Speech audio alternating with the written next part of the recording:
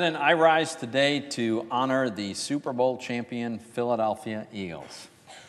Last night in Minneapolis, the Philadelphia Eagles defeated the vaunted New England Patriots by a score of 41 to 33 in one of the most amazing Super Bowls ever, one of the most amazing NFL games ever. It was really an extraordinary night.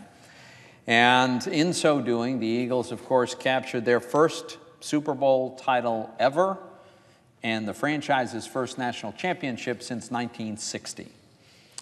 The Eagles' arguably improbable Super Bowl run came despite many serious injuries and a whole lot of doubts from naysayers and pundits and odd makers. The odd makers, by the way, had the Eagles as underdogs in every playoff game they played. But of course, they won every one of them. There's a team that was led by Doug Pederson, a coach who himself, entering the season, was often doubted and sometimes dismissed by the punditry and the talking heads. Well, not only did Coach Pederson make his critics look silly, but in winning the Super Bowl, he beat a man who's arguably considered one of the best coaches in NFL history.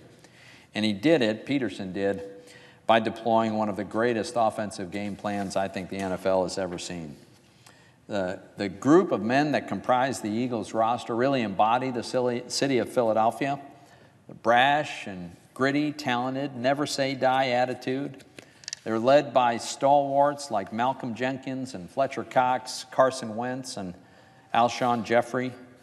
The Eagles' next man up mentality was really, really incredible to witness. You know, think about what they had to overcome. Over the course of the regular season, the Eagles lost a Hall of Fame left tackle, their amazing middle linebacker, arguably the best pound for pound player in all of football, and they still steamrolled through a, to a 13 and 3 record in the regular season. And for all of that, maybe the greatest example of the next man up mentality in really, maybe in NFL history, was the way that Nick Foles took over for Carson Wentz at quarterback when Wentz was lost due to a, a serious injury late in the season.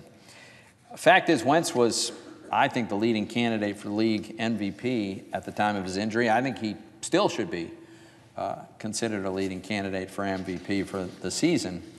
And the fact that Nick Foles was able to step in and guide the team not just into the playoffs, not just through the playoffs, but all the way to the Super Bowl and to a Super Bowl victory against the New England Patriots. Uh, this is just the stuff the legends are made of. Mr. President, the Philadelphia Eagles are an historic franchise.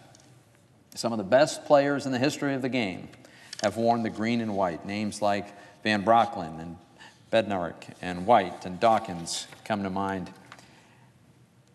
Well, this Super Bowl is also for all of these great players who put on the Eagles jersey over the years.